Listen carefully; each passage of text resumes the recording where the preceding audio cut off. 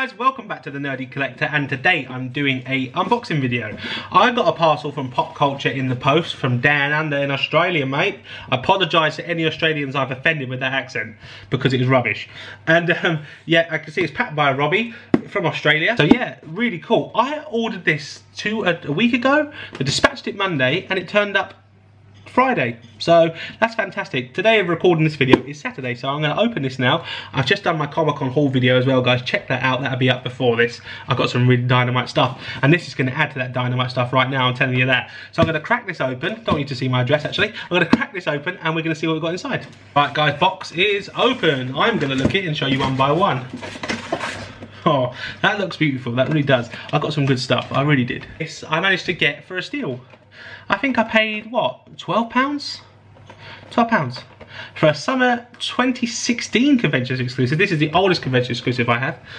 Violet Beauregarde as a big blueberry from Charlie and the Chocolate Factory. I don't know why I liked this. As soon as I clicked on the website, it was on like the sale bit and I thought, hang on, I've never seen that before. I'm gonna buy it. So I've got this Charlie and Chocolate Factory Willy Wonka. Well, Willy Wonka and the Chocolate Factory actually. I thought it was Charlie and Chocolate Factory, so you learn something every day. 2016 Summer Convention exclusive, great pop. I haven't got any of the others in the set.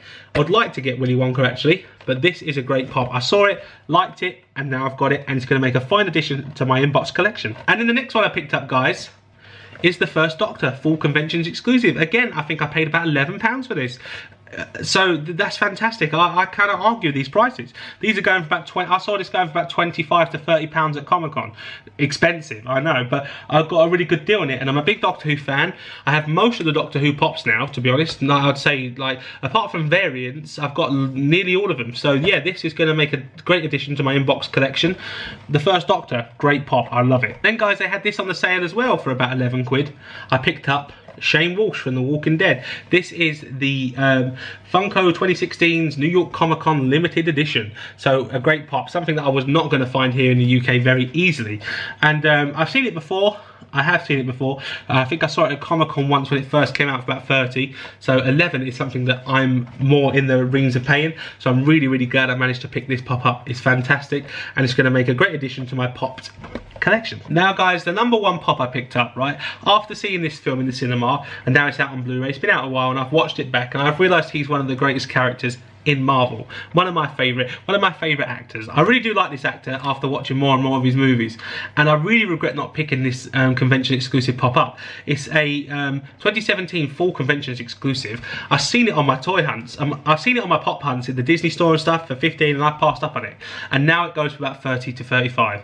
And um, it is the Grandmaster from Thor Ragnarok and I really regret it because this is such a great character and Jeff Goldblum is just the best. I think he's such a great human being and I think he's fantastic and I brought this in the hope that one day he will be at a con and I can get him to sign it. So this was a really good buy for me. When I saw this I thought I'm having the Grandmaster.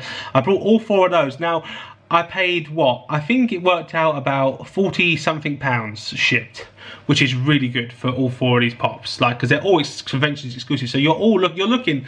These are were 15 at retail here in the UK. So now you're looking at about 25 to 30 pound retail here in the UK because they're a bit rarer. So I really got a steal with these pops. So check out check out them guys. I heard that you'd have to pay customs, but luckily the size of the box they sent me, you saw, I didn't have to pay a penny. So that was great. Obviously I paid shipping, but I didn't pay any international tax or customs, which is even better. And I got four great pops. So guys, out of all these convention exclusive pops I picked up here from Popcultcha down in Australia. So check them out, please. I'll link their website below so you guys can check it out. And it all converts to English nicely and it's very easy to do. Which one was your favourite? Which one would you have picked up if you'd have had the option? Um, I'm going to drop them, so I'm going to I was probably going to drop them so I put them down.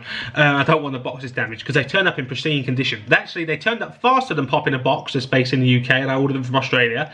And they turned up in better condition than they would from Pop In A Box. So Pop In A Box, if pop, if um, Popcultcha can do it down in Australia, you can do it here. So sort it out. But anyway, enough of that guys, let me know in the comments what ones you would have picked up. Let me know if you like all of those pops, which ones you wish you had in your collection, or which ones you already have in your collection. Let me know. Hit that like button if you'd like to see more videos like this. Don't forget to follow me on Twitter, Instagram, and my Facebook page. I am running a competition for my Facebook page, but check out my Facebook page to see details on that competition. I will be doing a video in the future for that. And, um, and don't forget to hit that subscribe button, guys. That really does help me when you hit that subscribe button. It just makes me feel good when you subscribe to the channel because that makes me feel like you're enjoying the videos. And don't forget to hit that notification bell as well because that will help me as well. So, um, guys, thanks for watching and I'll see you next time. Bye-bye.